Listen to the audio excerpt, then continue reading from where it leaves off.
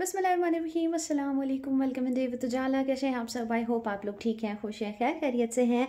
जनाब, आज जो है वो मैं आपके साथ एक बहुत, दो बहुत मज़े की रेसिपीज़ शेयर करने वाली हूँ। एक बनाएँगे हम नमकीन रेसिपी दूसरी बनाएँगे हम मीठी recipe so so, yes yes, आपको पता है सर्दियाँ हैं भूख बहुत ज़्यादा लगती है खाने को हर वक्त दिल करता है चाहे मीठा हो चाहे नमकीन हो चाहे स्पाइसी हो कुछ भी हो पर हो क्योंकि सर्दियाँ हैं। सो so, यस yes, चलिए चलते हैं किचन में और ब्लॉग को इसी तरीके से स्टार्ट करते हैं। ब्लॉग को आपने एंड तक देखना है चैनल को सब्सक्राइब नहीं किया है तो सबसे पहले चैनल को सब्सक्राइब कर लीजिए। Let's go in the kitchen जी तो जनाब मैं आ गई हूँ किचन में और सबसे पहले मैं आपको बताती हूँ कि नमकीन डिश में मैं क्या बना रही हूँ। तो मैं आज बना रही हूँ स्टीम चिकन ठीक है, जो कि चिकन पीस है। मैंने पहले भी एक दो रेसिपीज़ आप लोगों के साथ शेयर की हुई हैं चिकन पीस की। ये बहुत सिंपल है, बहुत क्विक है। Anybody can make it at home और इसमें कोई ज़्यादा इंग्रेडिएंट मसाले कुछ भी नहीं जाते। बहुत बेसिक मसालों के साथ बहुत टेस्टी जो है ना चिकन पीस बनकर तैयार हो जाते हैं। मेरे पास यहाँ पर दही है, एक पाव के करीब चिकन तो ऑब्वियसली है ही है। लेमन है black pepper ginger garlic paste salt garam masala powder और ट्रिपल मसाला और चाट मसाला। ट्रिपल मसाला में आपको पता है ज़ीरा है धनिया है एंड यस गोल वाली लाल मिर्चें हैं। ये सब भून के पीस लिया है। दो अदद सॉसेज यूज़ करूँगी soya sauce and hot sriracha sauce use करूँगी। सबसे पहले दही में ये सारे मसाले ऐड कर देती हूँ। उसके बाद इनको करेंगे बहुत अच्छे से मिक्स ये मैंने सॉसेज भी आ, मैंने तकरीबन half a teaspoon soya sauce डाली है। और बस हाफ़ अ टी स्पून के जितना ही हॉट सिराचा मैं इसमें शामिल कर रही हूँ और इसको देंगे बहुत अच्छा सा मिक्स लेमन जूस भी मैंने इसी में ही शामिल कर दिया है। ये देखें, बहुत अच्छे से हम इसको मिक्स कर देंगे। इसमें क्या है कि दही में मिक्स करने का मकसद सिर्फ़ इतना होता है कि मसाले बहुत अच्छे तरीके से उसमें यू नो मिक्स हो जाएँगे, दही में अच्छे से डाइल्यूट हो जाएँगे। और उसके बाद जब हम इसको चिकन के अंदर शामिल करेंगे तो वो एक अच्छी सी जो है ना हर तरफ़ से सारी चीज़ें कोट हो जाएँगी चिकन के ऊपर तो बस यही रीज़न है। तो बस ये है कि मैंने दही में ये देखें बहुत अच्छे से इसको मिक्स कर देना है। और मैं इसको चिकन के पे जो है वो डाल दूँगी चिकन के ऊपर। अगर आपके पास बहुत ज़्यादा टाइम है, आप इसको ओवरनाइट रख सकते हैं। देखिए मैरिनेशन जो है वो आप जितनी देर करते हैं, उतना ही ज़्यादा अच्छा फ्लेवर आता है। कोई भी चीज़ जब आप उसको मैरिनेटेड कोई भी चीज़ आप बना रहे होते हैं राइट तो लेकिन यह है कि मेरे पास अभी बहुत ज़्यादा टाइम तो नहीं है, लेकिन एनी आओ मैं इसको twenty to twenty five minutes तो ज़रूर दूँगी। बस मैंने सारा मसाला इस पर लगा दिया है। अब मैं बीस पच्चीस मिनट के लिए इसको रख देती हूँ। तब तक हम लोग जो है वो अपनी जो मीठी डिश है उसकी तरफ़ जो है वो आते हैं। ये ज़रा थोड़ा सा जो है वो यहाँ पर रेस्ट कर ले, उसके बाद इसको हम देखेंगे। तो यहाँ पर कलरफुल कलरफुल से बाउल हैं मेरे पास और मीठी सी चीज़ हम बना रहे हैं। आज वॉलनट केक बहुत दिल कर रहा था केक बनाने का।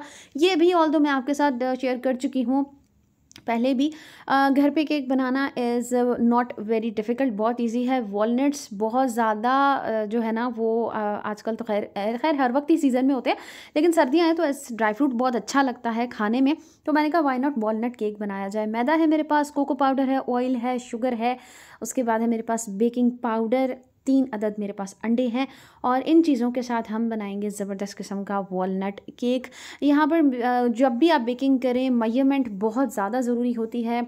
कोई भी चीज़ अंदाजे से कभी भी नहीं होगी बेकिंग में, ठीक है? तो मैंने बस वन कप से थोड़ा सा ज़्यादा मैदा लिया है। थ्री फोर्थ कप शुगर है मेरे पास वन फोर्थ कप ऑयल है मेरे पास वन टेबल स्पून से थोड़ा कम बेकिंग पाउडर है और है मेरे पास दो चम्मच कोको पाउडर, ठीक है? ये है मयरमेंट सबसे पहले मैंने यहाँ पर अवन को प्रीहीट करने के लिए रख दिया है 180 डिग्री सेंटीग्रेड पे। दोनों ग्रिल्स मैंने इसकी ऑन की हुई हैं और फुल पे फ़िलहाल मैंने इसको लगा दिया है। जब तक हम लोग अपनी बेकिंग का प्रोसीजर करेंगे, तब तक अवन अच्छे से प्री हीट हो जाएगा। सबसे पहले हमने क्या करना है? तीन अदद अंडे लेने हैं। उनको मैंने अलग अलग करना है, सफ़ेदी और जर्दी, ठीक है? एक बाउल में सफ़ेदी डालेंगे, दूसरे बाउल में डालेंगे जर्दी। मेक श्योर के जिस भी चीज़ से मयरमेंट करें, एक ही कप उठाइएगा, उसी के साथ मैयर कीजिएगा। अगर आप मयरिंग कप्स के साथ कर रहे हैं, वो तो बेस्ट है, ठीक है? लेकिन for example for example measuring cups नहीं हैं तो कोई भी एक कप आप बना लें उस कप के साथ आपने मैदा भी छान मैयर करना है, उसी कप के साथ शुगर भी करनी है, उसी कप के साथ ऑयल भी करना है एवरीथिंग उसी कप के साथ करना है एंड हर चीज़ आपकी रूम टेम्परेचर पे होनी चाहिए। अंडे भी रूम टेम्परेचर पे होने चाहिए, मैदा भी रूम टेम्परेचर पे होना चाहिए, दूध इसमें अगर हम लोगों को ज़रूरत पड़ेगी तो हम वो भी शामिल करेंगे तो वो भी रूम टेम्परेचर वाला ही होगा।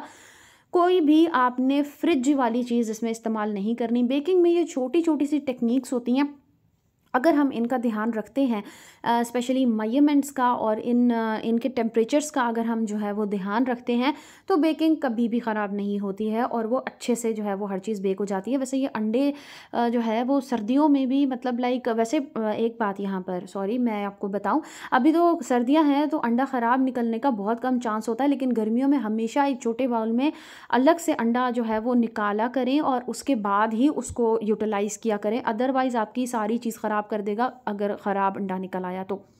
यहाँ पर बड़ा मुश्किल से जो है वो अंडे जो है वो अलग अलग हो रहे थे मतलब लाइक सफ़ेदी और जर्दी।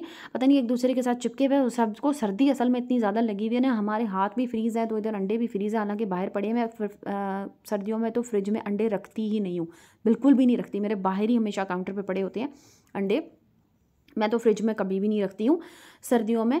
लेकिन उसके बावजूद आप देखें कि सर्दी की वजह से अंडे भी जो है ना, वो अंदर ही अंदर जम ही गए हैं। अब यहाँ पर सर्दी सॉरी, सफ़ेदी अलग हो गई। अब जो जर्दी है ना, इसमें मैंने शामिल कर देना है ऑयल वन फोर्थ कप जो हमने ऑयल लिया है वो, और साथ ही हमने थ्री फोर्थ कप जो शुगर ली है वो। अब या ये क्या करना है? सफ़ेदी और को मैं सबसे पहले सफ़ेदी को बीट करूँगी। एग बीटर आपके पास है वेल एंड गुड उसके साथ मैं इसको बीट करूँगी। अगर नहीं है हैंड बीटर के साथ भी आप इसको कर सकते हैं। इतना बीट करेंगे कि ये मतलब बिल्कुल फ्लफ़ी हो जाए, बिल्कुल फॉमी फॉमी सा ना ये झाग बन जाएगा। और उसके बाद हम जो दूसरा हमारा बाउल है, उसका मिक्सचर को भी बीट कर देंगे। और ये आप यहाँ देख सकते हैं कि यहाँ पर जो सफ़ेदी है, वो इस तरह बीट हुई है कि मैं प्याले को उल्टा कर रही हूँ, हिला रही हूँ। लेकिन वो अपनी जगह से टस से मस नहीं हो रहा। वो बहुत अच्छे से जो है ना वो फर्मी फर्मी सा हो चुका है, ठीक है? यही हमें चाहिए। अब यहाँ पे इसको भी मैंने बीट कर लिया। बस इसको इतना बीट करना है कि एक अच्छे से मिक्स हो जाए। सही है? अब हमने क्या किया कि मैदा ऑलरेडी मैंने छाना हुआ था। आप चाहें तो मैदे और बेकिंग पाउडर को साथ में छान सकते हैं। मैंने मैदा छान के रखा हुआ है। इसमें मैंने बेकिंग पाउडर जो है वो शामिल करना है। इसको बहुत अच्छे से मैंने थोड़ा सा मिक्स कर दूँगी।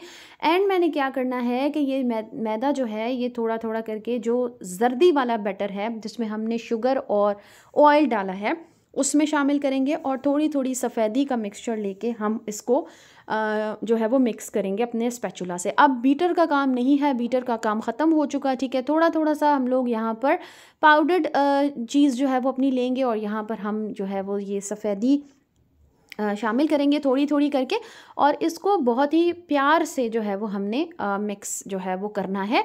और उसके बाद आहिस्ता आहिस्ता करके हर चीज़ मतलब जब सारे मिक्सचर जो है ये कंप्लीट हो जाएगा, फिर हमने एक और चीज़ करनी है जो कोको पाउडर मैंने जो है वो लिया है यहाँ पर।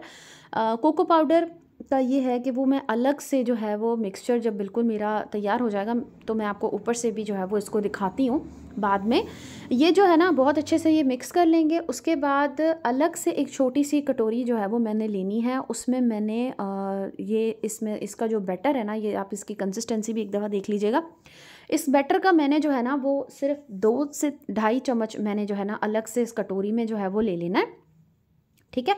और इसमें मैंने शामिल कर देना है कोको पाउडर, ठीक है? कोको पाउडर शामिल करेंगे तो आप देख सकते हैं कि ये थिक बहुत ज़्यादा होगा, इस वजह से मुझे दूध की ज़रूरत यहाँ पर पड़ेगी।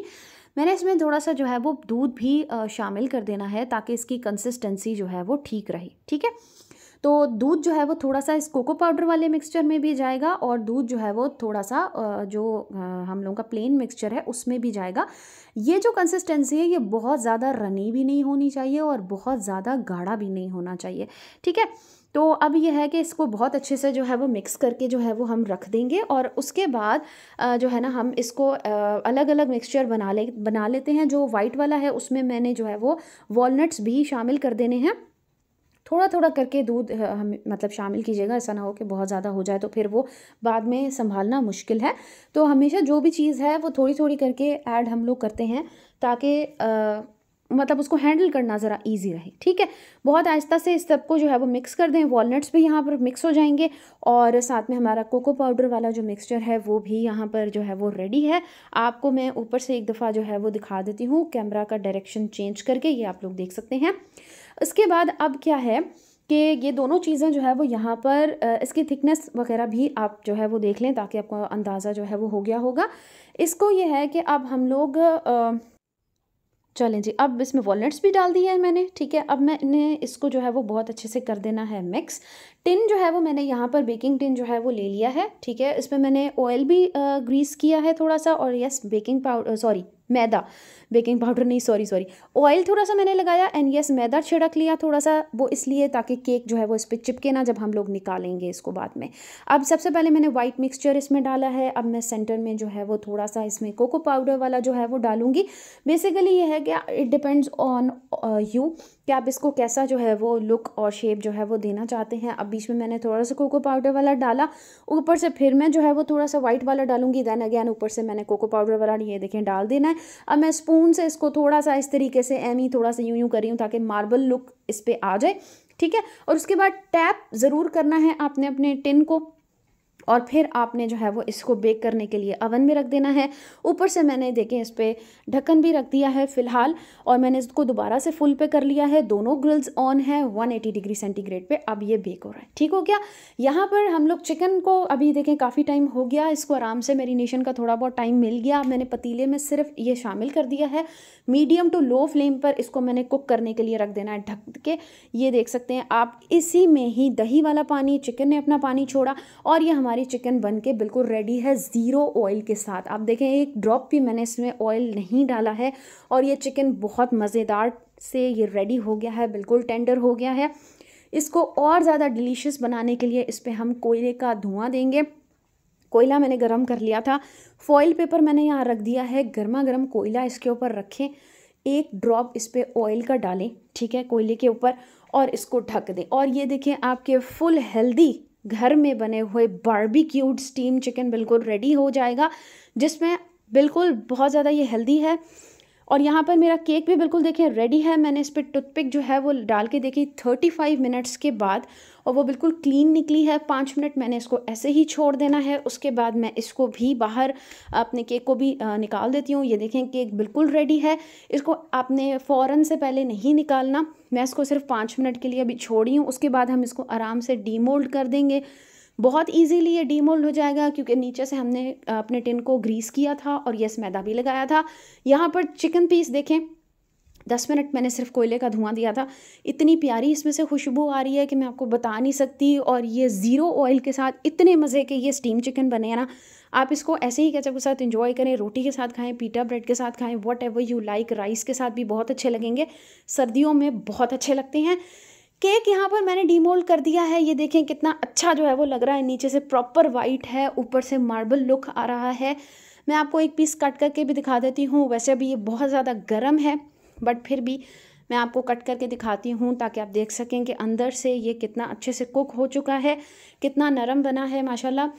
बहुत आराम से स्मूथली जो है केक का पीस कट रहा है। ठीक है, आप देखें धुएँ निकल रहे हैं, बड़ा गर्म है। अंदर से भी इसका जो है वो लुक आप लोग देख लें। और ये देखें जनाब ज़बरदस्त किस्म का वॉलनट केक बन के तैयार हो चुका है। इसको इंजॉय करें चाय के साथ कॉफ़ी के साथ या फिर ऐसे ही। ये मेरी आज की नमकीन और मीठी रेसिपी आपको कैसी लगी मुझे कमेंट सेक्शन में ज़रूर बताइएगा। अपना रखें बहुत सारा ख्याल। खुश रहें, खुश रहने दीजिए। मैं मिलूँगी नेक्स्ट ब्लॉग में। टेक केयर ओके बाय अल्लाह हाफिज़।